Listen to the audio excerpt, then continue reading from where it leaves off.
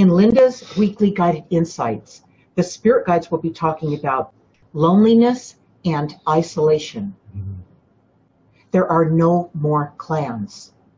Communities no longer come together as a group who support and take care of each other. Societies have forced people into isolation. Modern technology reinforces the isolation.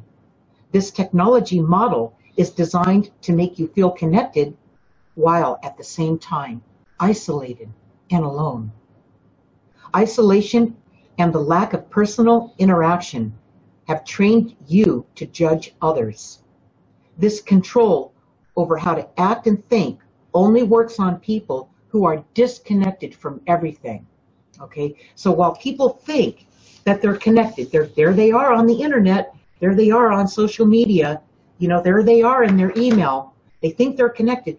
Everyone feels like that's the connection. But honestly, when you see the people walking around with their phones and they're this is what they're doing and they're walking across the street and they're not even looking at what's going on around them and they get hit by cars and I mean crazy stuff happens.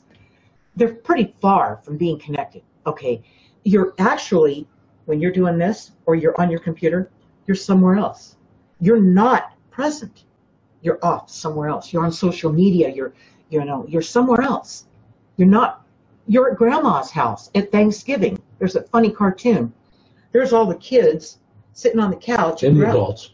and- yeah, and the adults. All doing this, and grandma's just sitting there like this. They can't see you. They're on the couch, and they're all doing this, is what Ray was showing.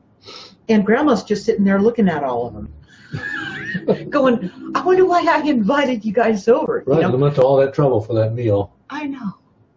So, anyway, this connection turns out to be a disconnection if we're not, if we don't manage it right, if we don't control it, okay? So it's good, but it's not good when it's way out of balance, okay? So that's what next week is going to be about.